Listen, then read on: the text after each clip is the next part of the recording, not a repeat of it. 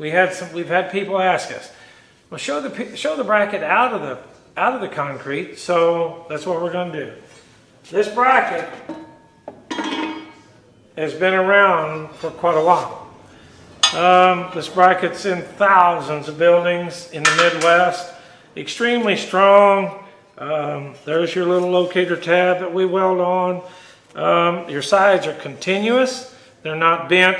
The rebar is not welded to the bottom plate entirely. The rebar is also welded right here in a two inch long continuous bead. So this part right here, this much is buried into the concrete. You've got this pad to hold your pier up or hold your column up off the ground so your bottom of your post doesn't get wet. Um, we've had people voicing concern about that. Um, that's why this base is put in there so that it doesn't get your column wet. Um, anyway, we put the hooks on the rebar in case um, you know you didn't get good adhesion around the rebar. You got a hook on the bottom. Now, everybody says, "Well, why do you use half-inch rebar?" Well, to pull one of these in two, um, the rebar industry said it takes 180,000 pounds just to pull one of them in two. So you're 360,000 pounds of force, plus you're buried into the concrete. Um, this foundation system is strong as it can get. We've not, we do not know of any bracket failure in thousands of buildings. We know that tornadoes have hit the buildings and they stand.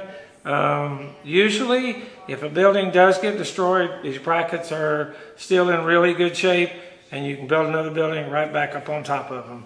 Um, unfortunately, I don't want anybody's buildings to get hit by tornadoes, but if you do, um, you know, usually these brackets survive and you can put another building right back up on top of them.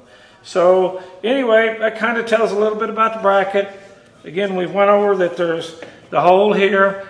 Uh, you can see the concrete. You also can stick a rebar down in. There's two different size holes in these brackets.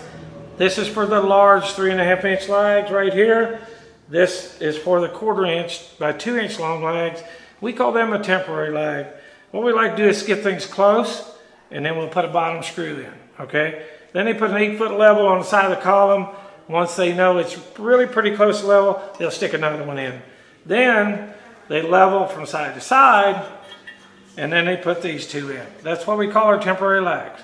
Once you've got your building kind of up and square and you're confident you're not going to move it much, then we pre-drill a little quarter inch hole in there and run your three and a half inch lags in.